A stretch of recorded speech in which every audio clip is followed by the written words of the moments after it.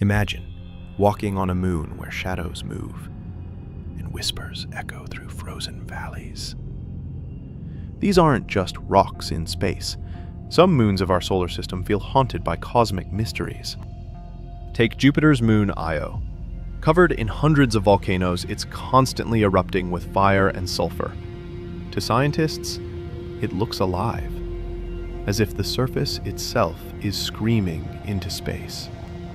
Then there's Europa, an icy world with a hidden ocean. Strange cracks stretch for thousands of miles, and some believe that under the ice, alien life may be watching us in silence. Saturn's moon Enceladus sprays giant plumes into space, like a ghostly geyser. Could these be the breath of something beneath? The solar system is full of places that feel haunted, and maybe they truly are.